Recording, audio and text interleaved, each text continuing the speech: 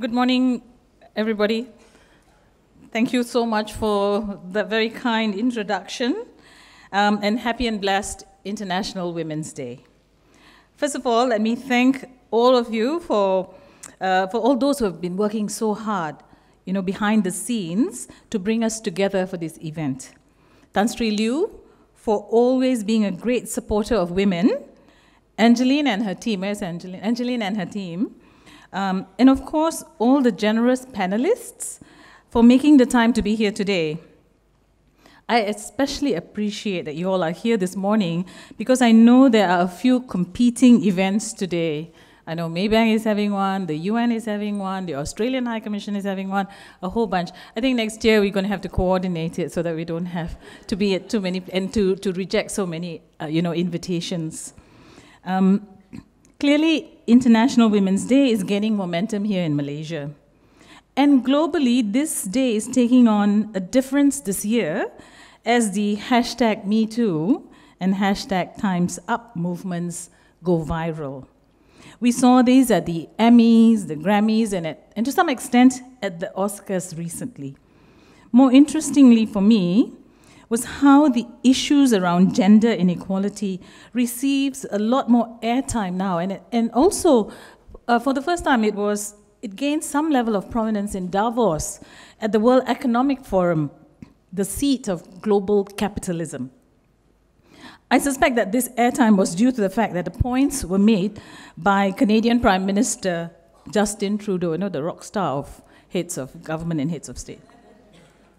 Women do more part time work, he said, more unpaid work than men. Um, when we remove the outer layer, we see that there are a host of barriers for women in the workplace. Now, he didn't say anything new, it was the messenger, not the message, I suppose. But we must acknowledge that it was important and relevant, it was an important and relevant message. He gave us voice in that high profile event. History shows us that the debate, the arguments, and the fight for recognition of women's rights have taken various forms.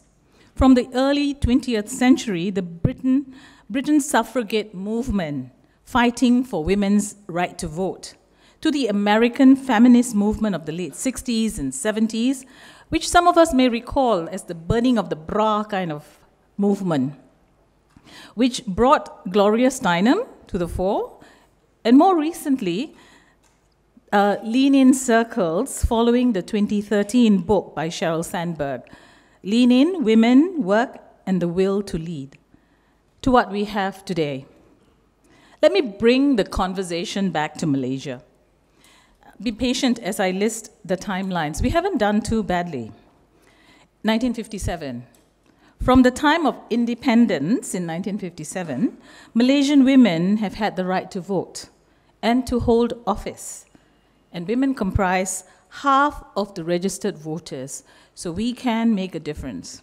I was, no, I was told not to make controversial statements today. 19, 1975, the amendments to the Income Tax Act to allow wives to elect for separate assessment of their income tax. 1995, Malaysia ratified the Convention on the Elimination of All Forms of Discrimination Against Women, but we've taken reservations, and some of these reservations are kind of disturbing. And we still have women's groups um, fighting for us to remove some of those reservations. 1997, Malaysia ratified the ILO Convention on Equality of Wages between men and women. 1999, the Guardianship of Infants Act 1961 was amended to give equal rights to mothers. And I thought that was really, really very progressive and very important for women. In 2001, we established the Ministry of Women and Family Development, and in 2004, we changed the name to Women of Ministry of Women, Family, and Community Development. So in, in a sense, it got sort of watered down a bit. The focus sort of shifted, but then that's to be expected. But this list is not exhaustive. We've done well, but we still have much to do. For example, the Domestic Violence Act of 1994. This was implemented in 1996, but we still have questions around the implementation of that law. I'm not a lawyer, but I am made to understand that there are challenges around recognition of women under the law, and of course, cultural influences on how the law is implemented and enforced. So, coming back to our theme today, reducing barriers, reshaping conversations, there are four points I'd like to make. First, voice.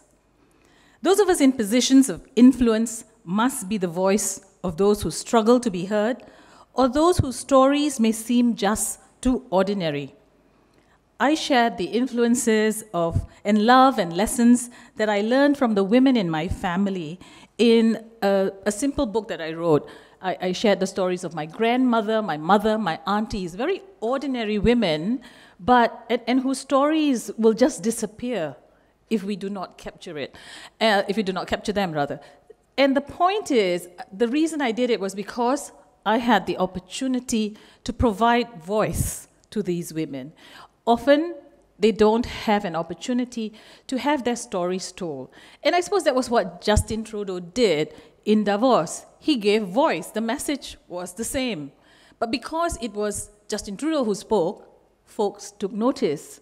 It was carried on BBC, on CNN, you know. He got coverage, and, and so he did us a favor by giving voice to some of the concerns that we are so used to, we've, we've taken them for granted. So again, sometimes it's about the messenger and not the message. So those of us who have the opportunity and, and you know, the, the right to, the chance and blessed with opportunities to give voice, we should.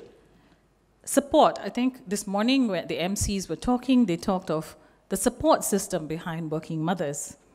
In the multi-dimensional roles that women play, we often struggle to separate our role of caregiver from that of formal work, separate work from home.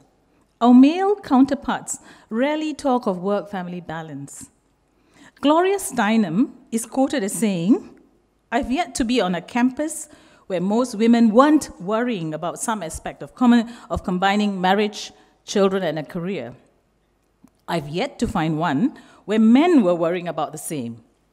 Yes, we are wired differently, but we need to bring these concerns to awareness. Yesterday on BFM, I, I, I, list, I was listening in to this conversation um, between, two, between Melissa Idris and, and a young lawyer, and she, interestingly, highlighted the fact that when she was in university, one of the concerns of, of you know, that she and her other girlfriends had was about career and balancing family.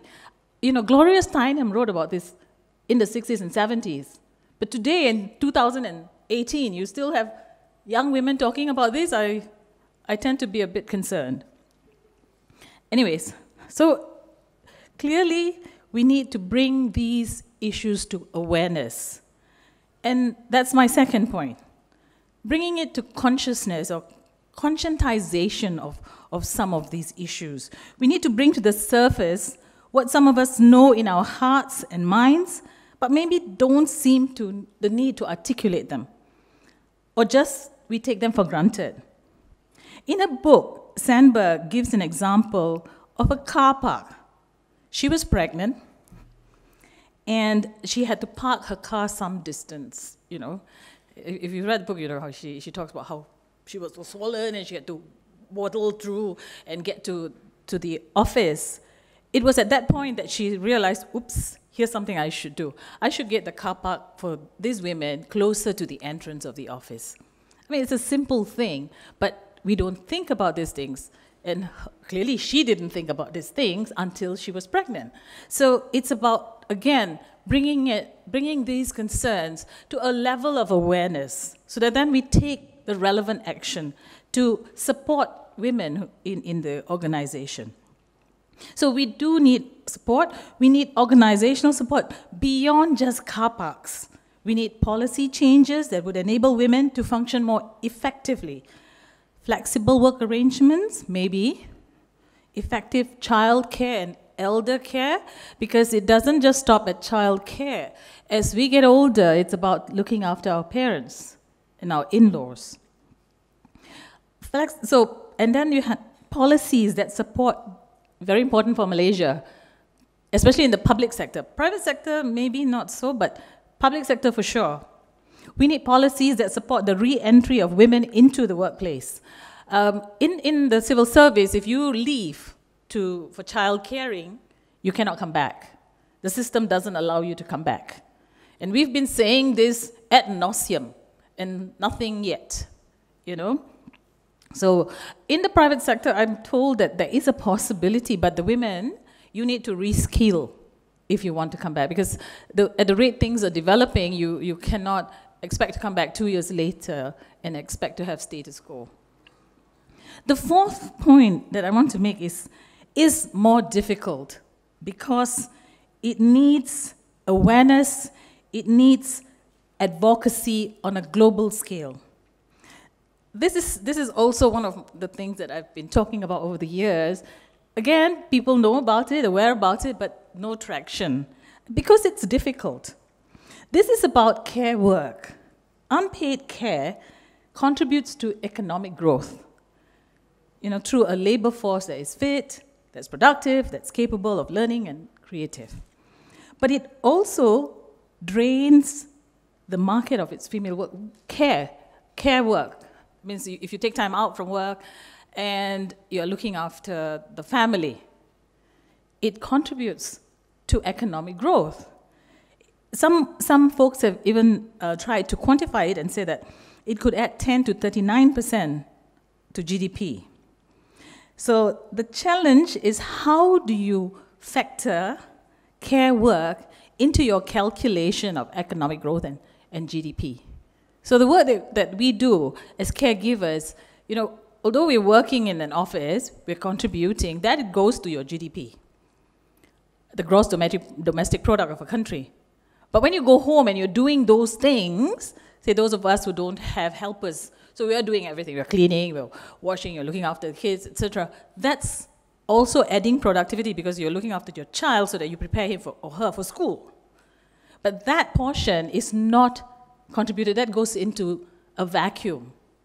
It's not considered when we consider uh, contribution to economic growth. So it's, it's kind of difficult. This is something that we have talked about. You can't quantify.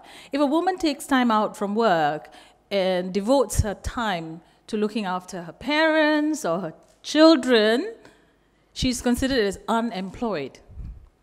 Okay? So, serious, seriously, there's something wrong with the way we look at economics. So, anyways, I said you need advocacy on a global scale. You know, you can't have a few of us shouting here. So, anyways, what do these developments say? They say that women have been speaking out, but and that the issues are not new. However, the fact remains that the challenges persist. It also means that some, to some extent we're not being heard. We are not there yet. Yes, I suppose that's why we're here this morning, that there are various other uh, events celebrating women, and rightly so. This is another opportunity for us to remind ourselves and the world that our job is not done. In the words of my favorite poet, unfortunately or unfortunately, he's a man, Robert Frost, he says, I have promises to keep, miles to go before I sleep, and miles to go before I sleep. So thank you for your attention, and I look forward to sharing ideas and hearing from the voices of these other fantastic women who are here this morning to spend time with us. Thank you very much for taking the time to spend with us, and also to the brave young men in this room. Thank you so much. Thank you very much.